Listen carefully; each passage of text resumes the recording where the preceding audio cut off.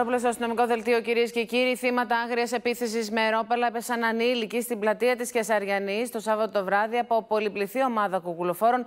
Μάλιστα, ένα από τα θύματα κατέληξε και τραυματισμένο στο νοσοκομείο. Πάμε στο Μιχάλη Τεζάρη που έχει όλες τις πληροφορίες. Μιχάλη.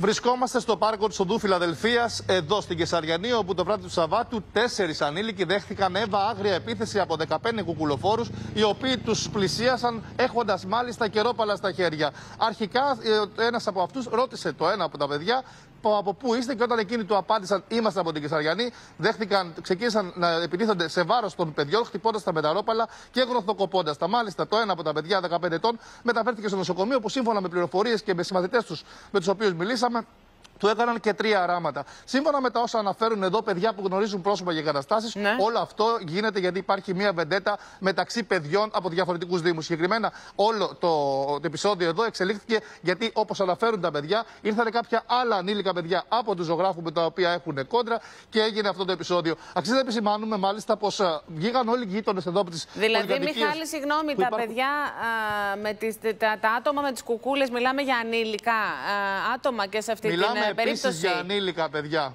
Αυτά Ακριβώς. έκαναν Μιλάμε την επίθεση. για ανήλικα παιδιά, mm -hmm. Εύα, τα οποία ήρθαν από τους ζωγράφους σύμφωνα με τα όσα υποστήριξαν συμμαθητές των παιδιών που δέχτηκαν επίθεση και τους επιτέθηκαν σε αυτή εδώ την παιδική χαρά που υπάρχει. Βγήκαν οι γείτονες έξω ακούγοντας τις φωνές, μάλιστα τους κυνήγησαν όπως χαρακτηριστικά ανέφεραν, ενώ προκάλεσαν και φθορές πριν απομακρυνθούν οι επιτιθέμενοι σε ένα αυτοκίνητο, Εύα. Μάλιστα, Μιχάλη Τεζάρη, σε ευχαριστούμε πολύ. Τώρα